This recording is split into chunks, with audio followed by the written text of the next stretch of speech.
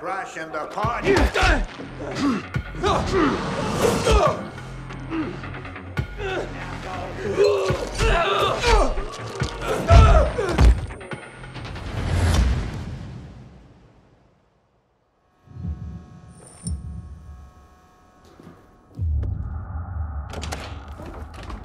Well, you are one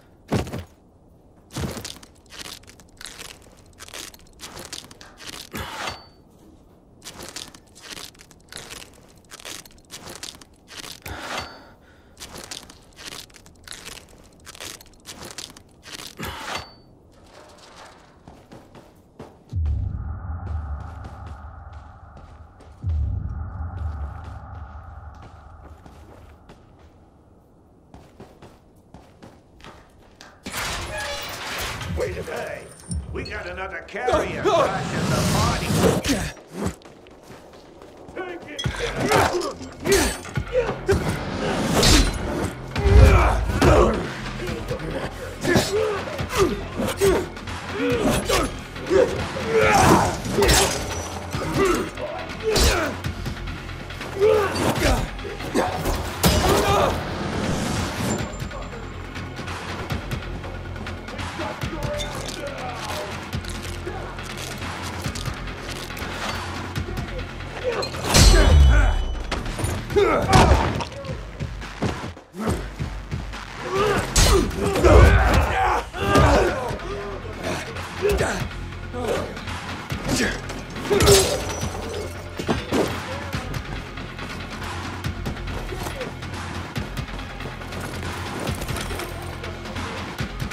Ugh!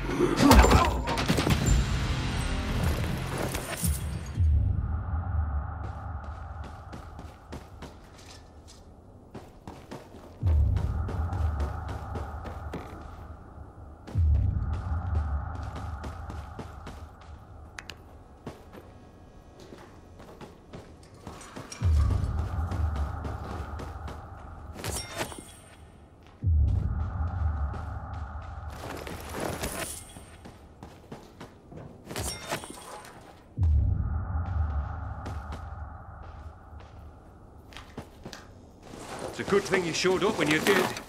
If it weren't for Derek, I wouldn't have made it at all. Derek. But I thought. And so did I. But turns out all he wants is to come back to the guild. And killing carriers isn't the way to do it. Then who's behind all this? Well, Derek believes it's someone on the inside. I agree. Yeah, I find that hard to believe. Driscoll, you gotta come see this.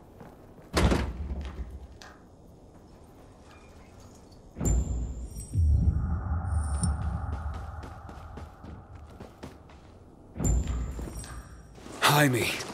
I. I can't believe it. He had to be working for someone. He couldn't pull this off on his own. With personalities like Jack and Derek around, his nice guy routine kept him off everyone's radar. Ethan, it's Derek. I found Jack. He's dead. Now his killers are too, but I beat a confession from one of them before finishing him off. What did you learn? Jaime was working for Waltz. Waltz is behind this? Waltz? I didn't see that coming. Thanks, Derek. Gather Jack's things if you can. I'll be in touch. Roger that, Pilgrim. So what is Waltz after? Destroying the carriers to disrupt the network? Waltz isn't a destroyer. He wants to control the network. He wants our archives all to himself. I've heard about the carrier's Bible. Is there more? A lot more. Maps, other books, vast quantities of intel gathered over the years. Every little detail about the city and the surrounding areas as well. Waltz is no doubt trying to gather complete information about the city. Maybe about its citizens. He's looking for something and I need to know what. I need to see the archives. That's information reserved for only the highest ranks of the Carriers Guild. However, you've more than proven yourself. Earned your place among our elite carriers. Come on.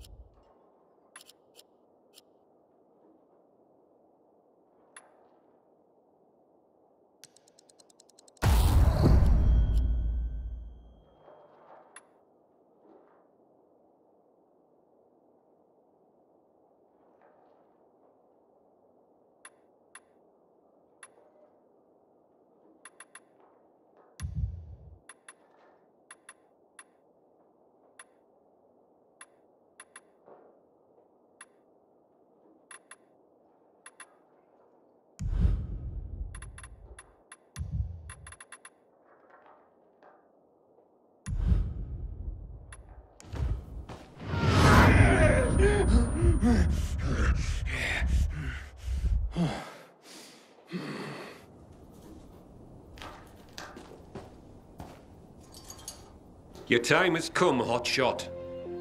Welcome to the top tier of the Carriers Guild ranks. Not bad for a pilgrim. You are officially the elite of the elite. The best of the best of the very best of the guild. Our secrets are now your secrets. To honor this occasion, I have something for you. Congratulations, Hotshot. And to think what you were when you joined. Some snotty-nosed little punk. And what you are now. A carrier. Makes me proud. With your fearless dedication and service, you've earned the right to ask of the rest of us how we can serve you. You get one favor, so ask away. And make it good, Hotshot.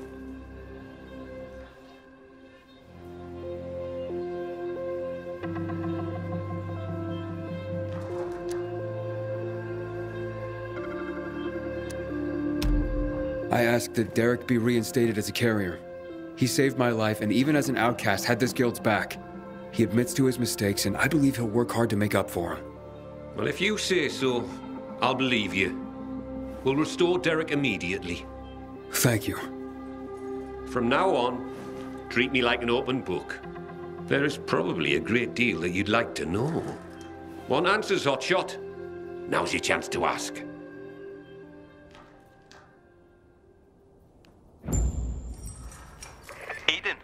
Heard the news? Uh, meet me in the canteen. If I really am to thank you, I want to do it in person.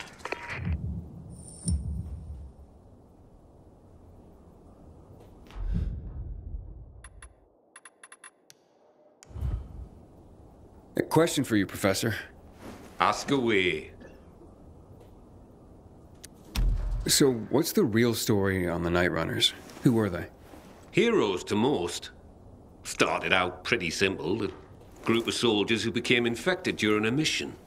Now, usually, infection spelled the end of a military career. Too much risk, especially with so many night operations. However, around this time, the military created something called inhibitors. Not only did they prolong the time you could spend in the dark, but also greatly enhanced motor skills and other senses. The downside was the side effects of inhibitors. They kicked the crap out of most people, if they didn't outright kill you. Given a choice, most soldiers took the risk to remain in active duty and to continue to make a difference in the battle. That's why people consider them heroes. Not just because they did so much to help so many, but because they joined the revolution on the people's behalf. They were the real deal, Aiden. That's quite a story.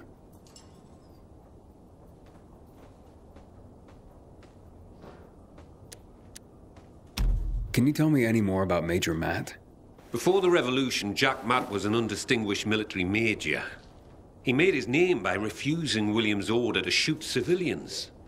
He managed to get most rank and file soldiers to join him and side him with the people and help in their revolution succeed. He's considered by many as not just a hero, but the city's savior. That was then. Now, I hear, he's more and more after personal gain and the help the citizens. That sounds like he's on a power trip. It's too bad.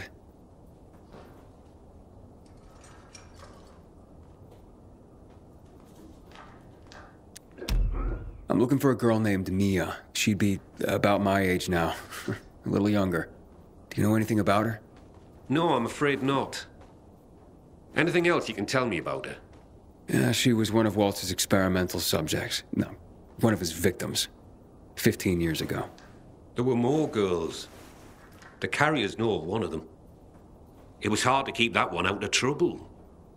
Sounds like it could be her. Maybe. But I wouldn't get your hopes up. She goes by the name of Lawan. She hangs out with Frank, as far as I know. Oh, I see. Uh, thank you.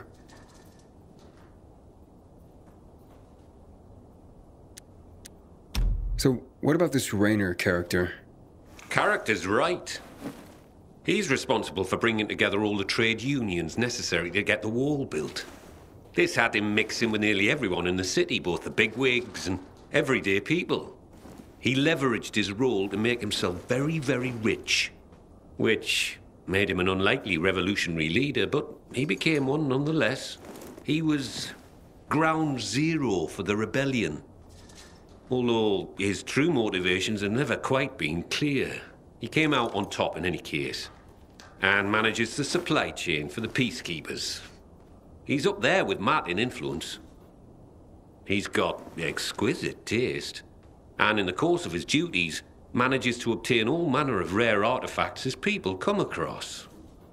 Well, he's become quite the collector. Hmm. Sounds like a colorful individual. So who's this Colonel Williams? Oh, yes. Colonel Chris Williams, aka the Butcher. Ooh, how do you earn that nickname? If you hadn't just asked me, I'd say you don't want to know.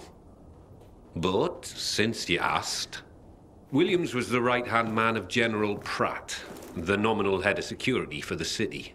I say nominal because it was an open secret that Williams was Pratt's puppet master. Pratt was a nepotism promotion and of no practical military use. Growing bold, Williams ordered a chemical strike on the city, while Pratt was stuck at the bottom of a whiskey bottle, unable to cope with the conflict, the responsibility of military command, and really, well, anything not whiskey related. What happened next is common knowledge. Williams' attack triggered the revolution. With Pratt having abdicated all authority, Williams ordered the military to shoot civilians. Most of the soldiers refused his order, and the end of armed conflict came swiftly. But not before the Colonel and many of his supporters made the dam his personal stronghold. Shortly after that, lucky for him, he took in Waltz. Wow. The butcher indeed. Thanks for the information.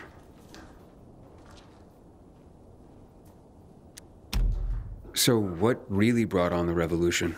It had been building for a while. Under William's direction, the military was increasingly unconcerned with collateral damage or civilian fatalities. The chemical strike was the match that lit the bonfire. The military explanation for the chemical strike was to eliminate the infected in evacuated areas of the city. Fact is, most areas had not been evacuated. Crowds of survivors remained, huddled on roofs, sheltering in place. Citizens, but also undocumented refugees from all over Europe. There was no way to know who was healthy and who was infected. There was a massacre, and half the city's population was wiped out. Oh my god. It was a tragedy beyond comprehension. Was Williams that bloodthirsty and cruel? Was the military that disorganized that it didn't know its own evacuation plans? In the end, it doesn't really matter. Death and chaos enveloped the city, and those who survived had had enough. And so, as people have done throughout the ages, they rose up in revolution. I hardly know what to say.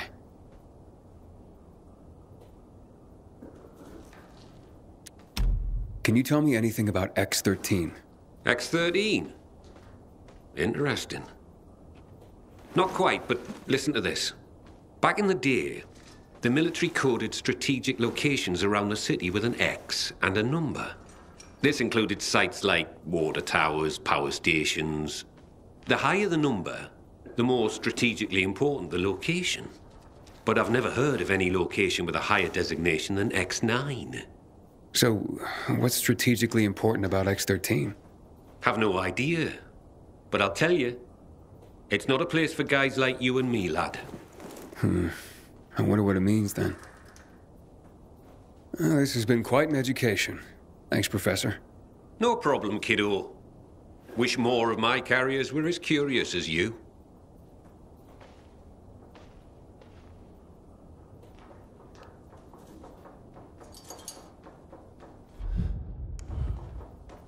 A question for you, Professor.